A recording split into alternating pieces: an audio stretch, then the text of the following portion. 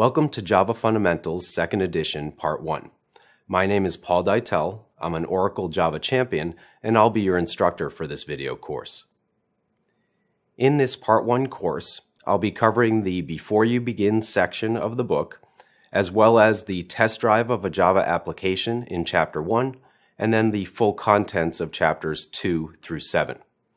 In addition, I provide three dive into videos that introduce you to using three of the most popular Java integrated development environments, the NetBeans IDE, the Eclipse IDE, and the IntelliJ IDEA IDE.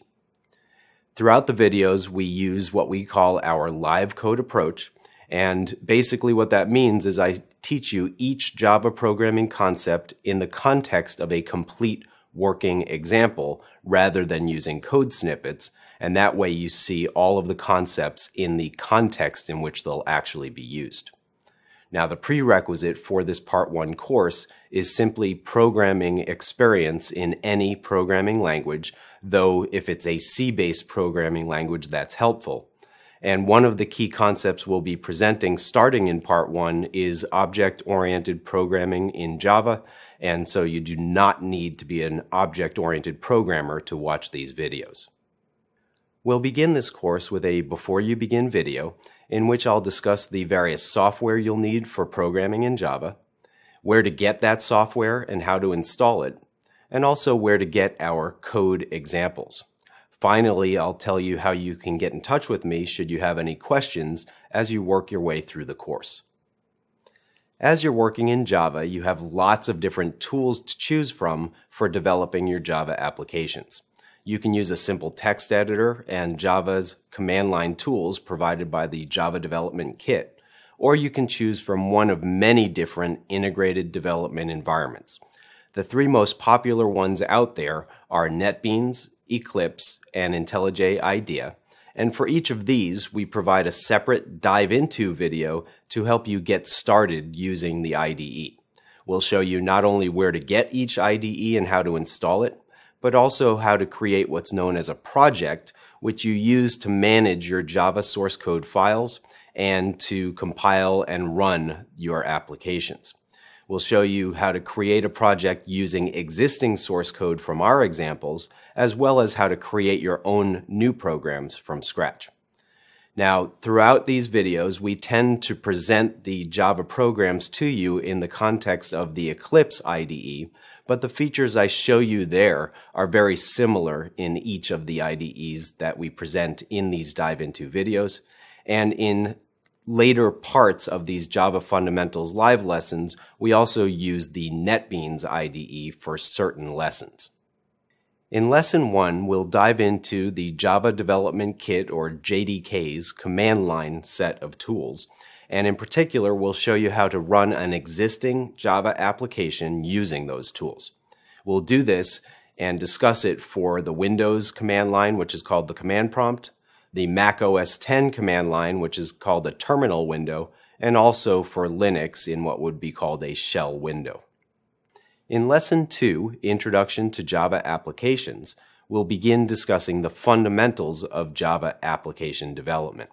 Now, you'll be surprised to see all of the different little details you need to know just to be able to write the simplest Java applications.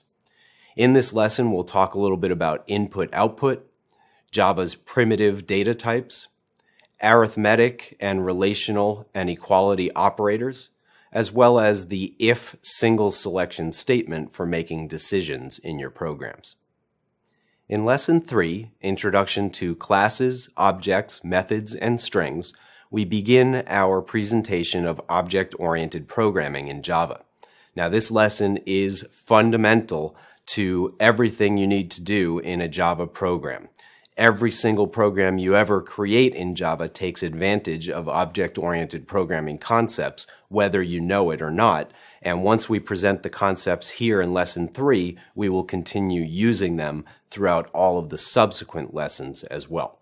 Now, some of the concepts that we'll present in this lesson include how to declare a class and use it to create objects in your program, We'll then talk about how to implement a class's behaviors as what are known as methods.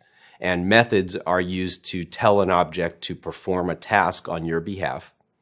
We'll also talk about how to implement a class's attributes as so-called instance variables. For example, if you're creating a class that represents a bank account, one of the attributes associated with a bank account is the balance in that account. And we'll show you how to declare variables for the purpose of storing a balance for individual account objects.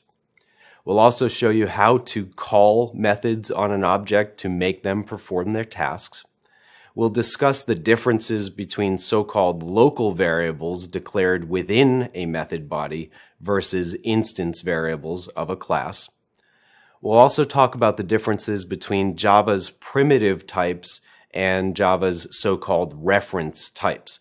Basically, Java has only eight primitive types, and in addition to those primitive types, everything else you manipulate are considered to be reference types in Java. Finally, we'll talk about a concept called a constructor, which enables you as you're working with objects of a class and creating them for the first time to guarantee that they get initialized right from the moment they're created. In Lesson 4, Control Statements Part 1, we're going to take a look at three of Java's control statements. We'll revisit the if single selection statement that we introduced back in Lesson 2. We'll also introduce the if else double selection statement and the while repetition statement as well. And using those control statements, you can implement pretty much all forms of control that you'll ever need. But in the next lesson, we'll also show you Java's additional control statements. In addition, in this lesson, we'll take a look at the so-called compound assignment operators, which are inherited into Java from the C programming language, as well as the increment and decrement operators. In Lesson 5, Control Statements Part 2, we'll take a look at most of Java's other control statements, starting with the for repetition statement and the do while repetition statement, as well as introducing the switch multiple selection statement.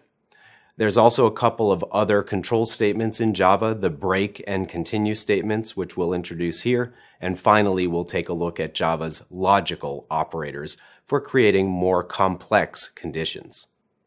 In Lesson 6, Methods a Deeper Look, we'll fill in some of the missing pieces about creating your own methods in Java. We'll also introduce the concepts of static methods and static data in a class.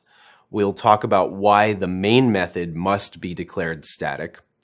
We'll discuss Java's primitive types again and discuss them in the context of what are known as Java's promotion rules, which affect not only mixed type arithmetic expressions, but also when you pass data into various methods to have them perform their tasks.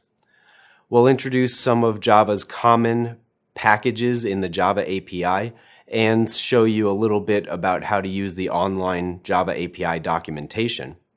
We'll introduce random number generation, named constants with Java's enum types, the scope of identifiers throughout a class, and also a concept called method overloading, in which you declare multiple methods in the same class that all have the same name but different parameter lists. In Lesson 7, Arrays and Array Lists, we begin our introduction to data structures in Java. We'll talk about one-dimensional and multi-dimensional arrays, We'll talk about the remaining control statement in Java, the so-called enhanced for statement, which is meant specifically for iterating through all of the elements of an array, or as you'll see later, a collection object as well. We'll demonstrate how to pass arrays to methods, how to write methods that can receive variable length argument lists, which are actually implemented underneath the hood with array parameters. We'll talk about the main method's command line arguments that are passed into the args parameter of main as an array of strings. We'll also show you how to build an object-oriented gradebook case study, first with a one-dimensional array representing a set of grades on one quiz, and then with a two-dimensional array representing 10 students' quiz grades on three exams. Towards the end of this lesson, we'll introduce a class called arrays that contains many static methods for common array manipulations, and we'll also take a look at the array list collection class, which is a dynamically resizable array-like data structure. If you like what you see in these videos and are interested in having me come on site to present instructor-led training at your company, please feel free to visit us at deitel.com slash training.